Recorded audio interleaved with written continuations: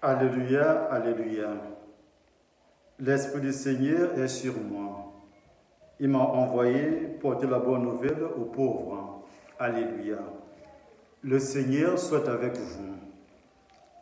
Évangile de Jésus-Christ selon Saint Matthieu. En ces temps-là, Jean le Baptiste entendu parler dans sa prison des œuvres réalisées par le Christ. Il lui envoya ses disciples et, par eux, lui demanda Es-tu celui qui doit venir ou devons-nous en attendre un autre? Jésus leur répondit Allez annoncer à Jean ce que vous entendez et voyez. Les aveugles retrouvent la vue et les boiteux marchent.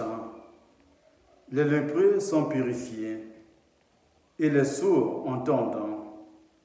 Les morts ressuscitent et les pauvres reçoivent la bonne nouvelle. Heureux celui pour qui je ne suis pas une occasion de chute. Tandis que les envoyés des gens s'en allaient, Jésus se mit à dire aux foules à propos des gens, Qu'êtes-vous allé regarder au désert? Un roseau agité par le vent? Alors, qu'êtes-vous donc allé voir? Un homme habillé de façon raffinée. Mais ceux qui portent de tels vêtements vivent dans les palais des rois. Alors, qu'êtes-vous allé voir? Un prophète Oui, je vous le dis et bien plus qu'un prophète. C'est de lui qu'il est écrit.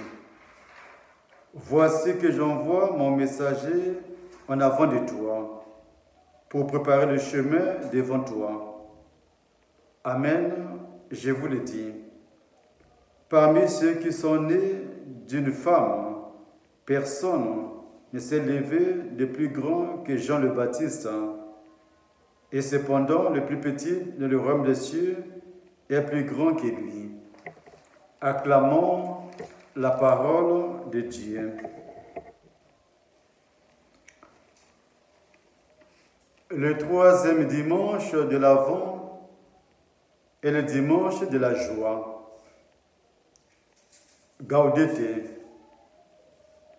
Réjouissons-nous ensemble en Église et dans l'Église.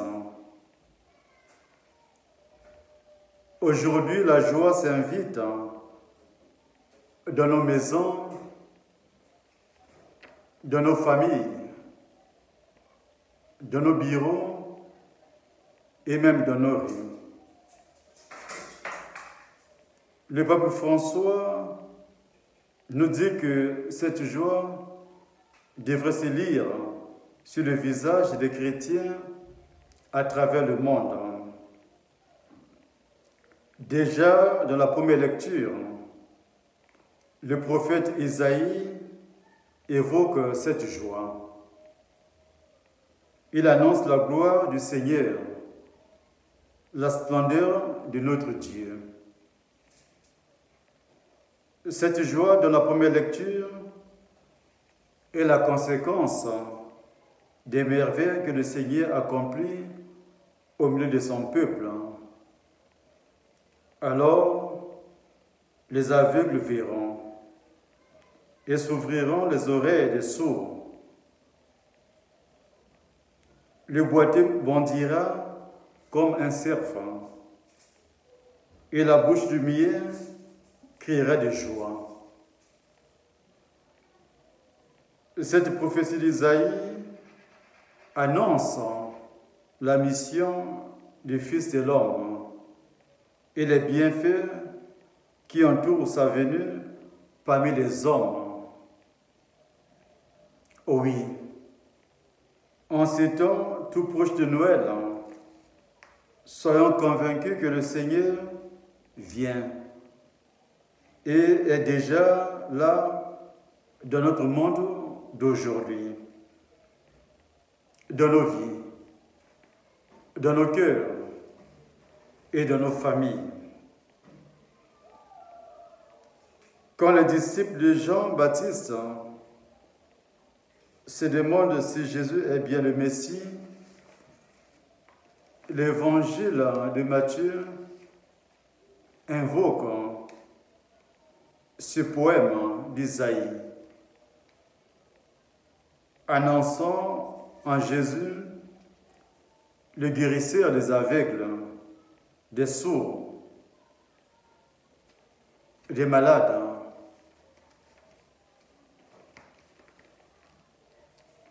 Et un aîné qui nous guide sur le droit chemin. Ce qui est important est de savoir que le Messie nous attendons.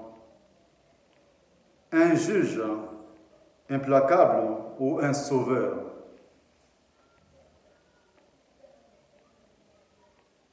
D'après Isaïe, c'est le Fils de l'homme, c'est le sauveur qui vient nous guérir.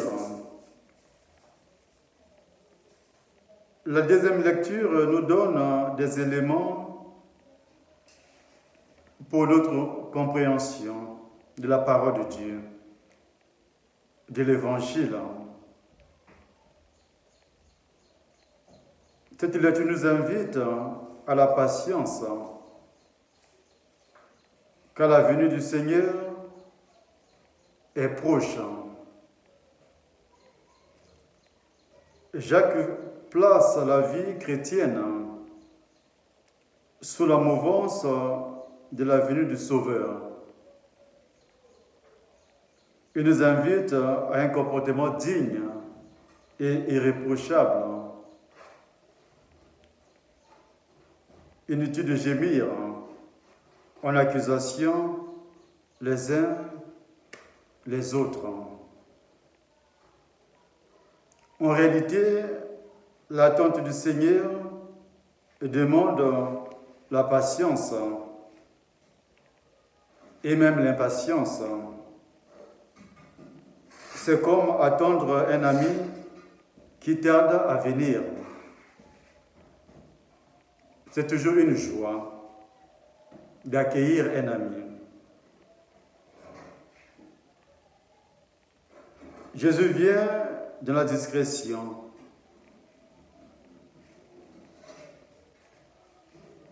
Il vient dans notre monde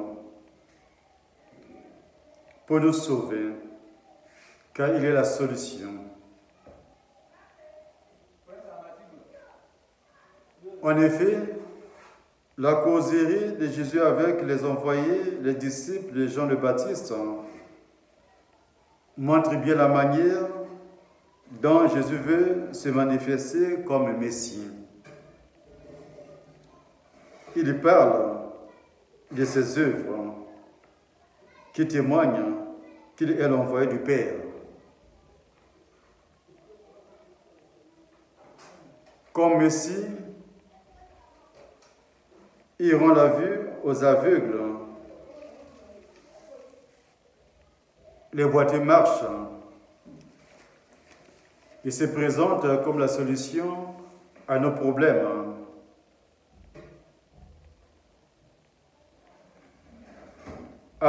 Des envoyés de Jean le Baptiste, Jésus définit pour la foule la mission de Jean par rapport à sa propre mission.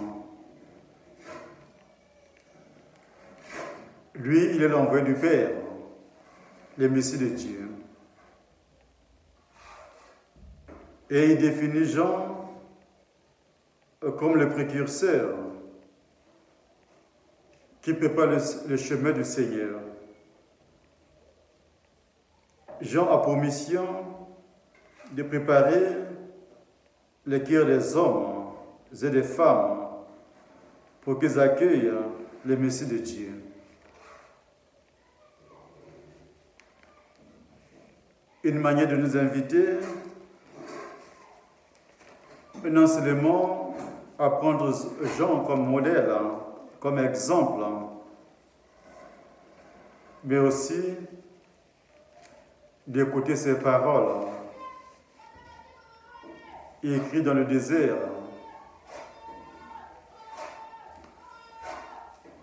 Aplanissez le chemin du Seigneur. Il nous invite ainsi à une manière d'être pour pouvoir accueillir celui qui vient. Demandons au Seigneur en ce dimanche la joie qu'il inonde nos cœurs de joie, de sa joie, et qui veille sur chacun de nous. Au nom du Père et du Fils et du Saint-Esprit.